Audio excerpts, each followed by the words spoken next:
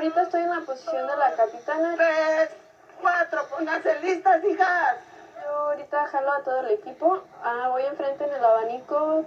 Yo grito los vas para entrar a los ejercicios. Con seis años de experiencia montando, Said lidera el equipo de escaramuzas Las Guadalupanas en presentaciones y competencias.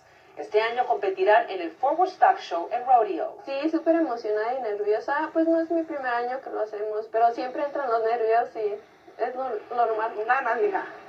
No se te ábrela, ábrela, ábrela, ábrela. Son largas horas de entrenamiento y mucho esfuerzo. Elvia comenzó montando por el interés de su hija de tan solo siete años. Entonces la apoyamos a la niña, pero como la niña tenía un poquito de miedo, pues entonces tuvo que entrar la mamá para que la niña agarrara más confianza. Y pues me quedé. ¡Va!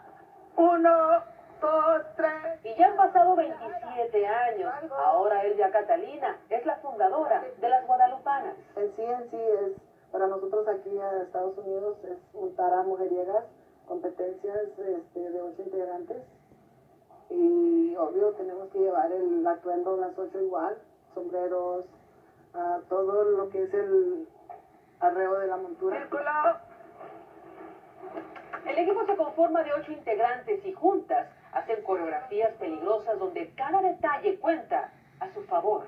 Fíjense lo que vamos a hacer, podemos entrar de una por una. ¿no? Aquí debe de haber más disciplina que nada en cuanto a puntualidades y, y pues todo, ¿verdad? vaya, lo que venimos a entrenar. El Forward Stack Show es el único rodeo en Estados Unidos, según sus organizadores, que incluye un deporte como las escaramuzas, bajo las reglas mexicanas. Pues súper orgullosa de, de poder representar esa cultura acá en los Estados Unidos, porque es- siempre ha sido un sueño mío. La escaramuza charra data desde 1950. Es considerada patrimonio cultural de la humanidad y hasta el sol de hoy sigue cruzando fronteras. Mi pasión es enseñar a las otras niñas para que sigan esta, esta raíz, esta cultura, este deporte. Porque no, no, no sé cómo describir lo que, que sea, pero es una pasión. Este sí vamos a hacerlo como es.